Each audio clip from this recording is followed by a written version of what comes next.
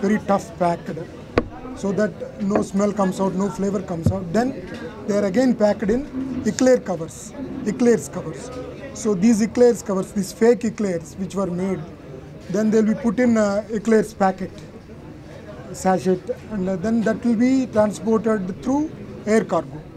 So air cargo reaches from that origin to or Bombay, Mumbai.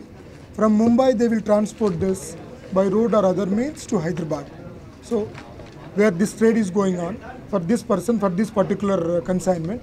So this uh, person Mason Lucas, who is a Ghana national, he does this transport from either Ghana or Nigeria up till Mumbai by air cargo. Then he transports it himself and hand, hands it over to this John Chukwu, accused one, and Bernard Wilson, accused two, who stay in Hyderabad. John Chukwu on the pretext that he is a student, and uh, Bernard Wilson on the excuse that he is a businessman, which they are not actually. That is only a pre- pretext, bahana. So then these two will do the marketing here using local peddlers, brokers, and they may sometimes uh, we have a uh, suspicion to think that uh, they may so- sometimes supply to this actual users directly. Sir, uh, now you are.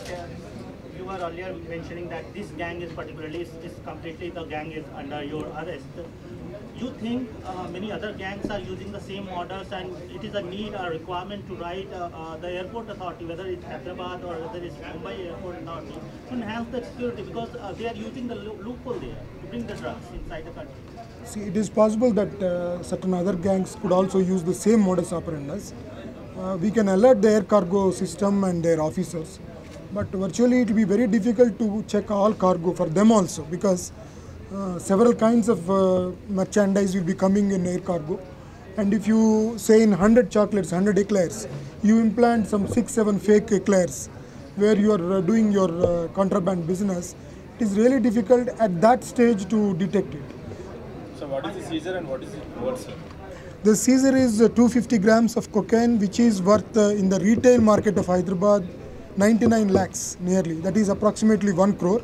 And heroin uh, 25 grams is worth nearly 2.5 lakh rupees in the retail market of Hyderabad. My final question, sir. Now, since uh, you mentioned that uh, probably this consignment was uh, was in the city for the New Year Eve or New Year party, you will ask the let's say customer as well as the pub owners and the, and the persons who are to remain alert or inform police and or your team will be acting uh, to nab all those persons who are using these kind of drugs for the New Year party. So one more sub question to that, and uh, we can see that drastically the crimes of Nigerians have been increasing in last years, and we, in this year itself we can see that. Why is not the police curbing these Nigerians, or we, because many Nigerians are staying here illegally? Why is it poli- is it police failing in these matters? So illegal stales are being dealt with by task force and SB regularly, and it is not about Nigerians staying illegally. Uh, every illegal case of staying, overstaying or staying here is being dealt with. Uh, beyond that, uh, this um, as a precautionary measure, we have uh, deployed 50 teams uh, in Liaison with uh, excise department. So they'll be checking for any peddling, any serving of drinks, which is our regular check for any person below 21 of years, and certain other things. Similarly, um, these peddlers uh, now be cautioned because we are on the prowl. We are watching. It is a signal that we have sent that one major portion of uh, what is to be consumed in the New Year's Eve that has been caught by us because we are alert, we are vigilant. So they better be careful. If they are caught, they're, uh, they'll be due for very high punishments, very harsh treatment uh, at the hands of law. So that is one. Number two, see the indication of usage, higher usage of drugs especially is somewhat there. And at the same time, police reaction in terms of catching them and bringing them to book. That has also been there. So it, it doesn't indicate that uh, there is increase of uh, drug use, but police is not acting.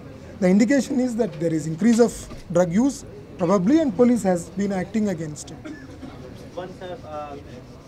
Perhaps you are aware about yesterday night uh, in a tragic incident, almost 15 persons have lost life in a pub of Mumbai, while same number are injured. They are undergoing treatment in several hospitals there in Mumbai.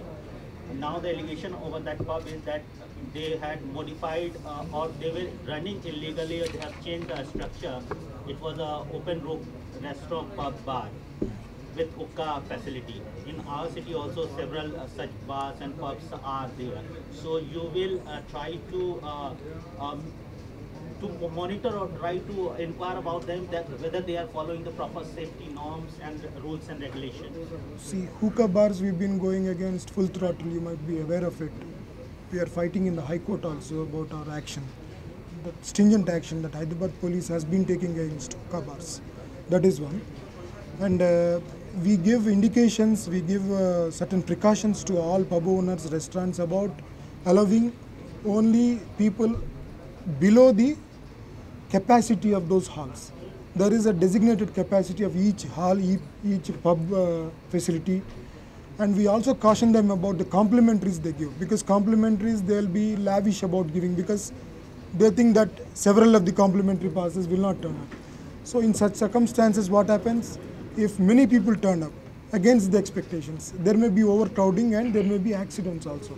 About fire safety, our fire department has been very, very strong. Telangana Fire Department, that way, they have been making continuous checks.